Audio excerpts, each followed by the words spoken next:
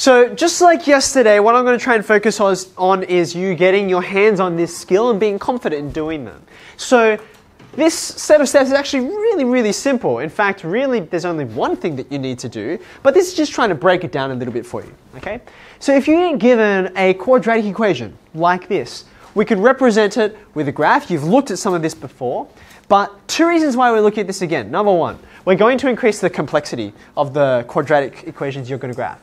And secondly, I'm going to talk about a few things that we haven't seen before with relation to quadratics. So in order to get there, we want to review what it looks like beforehand, okay? So, step one, and this really is the main step, have a look at this and find your intercepts. There are two kinds. What are they? X and Y. How do you find x-intercepts? What do you let? You let y equal 0 and if you want to find y-intercepts, you let x equals 0. So it's a bit funny that those are backwards. But we can do both of these and find out where our graph intersects with the axes. So let's do that really quickly. Let's find the intercepts. So for x-intercepts, I'm going to let y equal 0, which gives me what? This equation up here, the left-hand side just becomes 0. That's it. Now, in order to actually get something meaningful out of this, we then have to use all the skills we've been demonstrating with factorizing these quadratics and so on, and finding solutions. This is what you're doing in questions two and three of the review. Um, I notice it's a little bit awkward having all these negative signs around, especially at the front. So I'm actually going to multiply everything by negative 1. What happens when you multiply 0 by negative 1? Still just 0, right? But then all of these guys, all of the signs change. So I get 2x squared there. I get plus 3x. And then I get a minus 9. Okay, can we factorize this? A pair of numbers that adds to 3 multiplies to negative 18. Can you think of the pair of numbers? Negative 3 and positive 6. That'll do the job, won't it? 2x squared, uh, we said negative 3 and positive 6. So I've broken it apart. Now I'm going to pair things up. Okay, so let's have a look here. What's the common factor between these two? It's just x. That's it. So I'll take that out and then I'll write what's left behind. Have a look at the next pair. What's the common factor? 3. So I take that out and then I see what's left behind, which, because I did things right, we did things right, you gave me the right pair of numbers, it lines up. That looks good. So now, my final line, 0 equals this. Okay, now, this is why it's so helpful to write something like this up the front. You've gone all through this mental effort to write all this down. You're like, why did I do that again? And the answer was, you're looking for x-intercepts. You'll get one here, and 1 here. What do you get from the first one? Negative 3.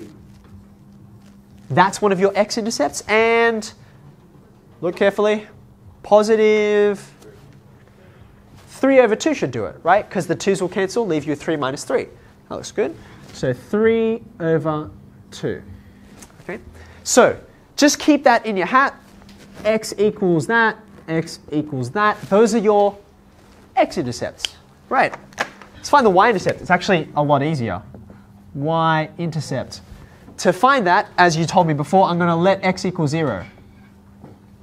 Okay. So I can put x equals 0 into any of these spots. Whoops. Which, sorry, any of these spots here. So which is the most appropriate one? I think the very first line would work, right? Because you get y equals, what's this become when x is 0? What's this become when x is 0? 0. And you just get left with the 9. Okay? In fact, just as a side note, you don't have to write this down, but you know when we wrote in straight lines that y equals mx plus b? Do you remember what the b was? The m is the gradient, but the b is just the y-intercept. It's just that number. Well, here, this guy here, that's the y-intercept. Everything else just vanishes. Okay? So therefore, y equals 9, that's my y-intercept. Okay? Now draw for me, because we're about to plot, this is step two, draw for me a Cartesian plane. But just think for a second, don't just draw it randomly. Think about the numbers you're going to have there, right? See how I'm going to have um, a negative value and a positive value for x, so I need the whole thing. This 9 is quite high, so I want to make sure that it goes high up enough. Okay, so I'm going to draw something like this.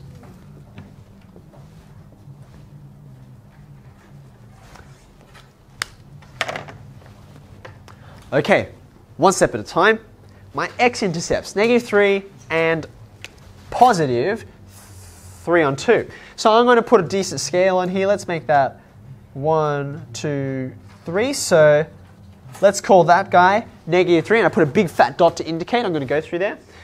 Uh, if that was 1, 2, 3, then 1, 2, 3. 3 on 2 is right in there halfway. So I'm going to label that as 3 on 2. Um, I need to go up to 9 for my y value. So I'm going to go 1, 2, 3, 4, 5, 6. Uh, that's too small, so I'm going to go double. Two, three, four, five. 1, 2, 3, 4, 5, 6, 7, 8, 9. There we go. Remember, your x and your y axes don't have to have the same scale as each other's, so long as they're the same on, the, on their own axis, right? So this x here, 3 over there has to be the same as 3 over here. But this guy I can make as tall or as short as I like. Okay, fantastic. Now, I'm almost there. I want to, whoops, daisy, I want to plot these, and I know what kind of shape I'm going to get out of this. It's going to be a, have a look. Can you join the dots?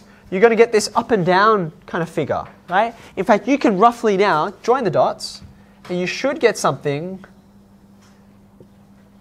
like that. Okay? Now, you may recall the place where that parabola turns around. See how it's going up and then it goes down. It has a special name. Do you remember it starts with a V? It's the vertex. Now, a question I have for you is, how did I know the vertex of the parabola was on this side and not on this side? How did I know that's where it would go up? How did I know that that wasn't the vertex or that the vertex wasn't over here? Any suggestions? The vertex, say it again, I can nice and loud and clear. Okay, you're going to find the vertex right smack bang in the middle of the parabola. That's because it's on the axis of symmetry. Every parabola is symmetrical. So in fact, if you have another color, I'd love you to draw a vertical, maybe dotted line that goes right through the vertex, like this.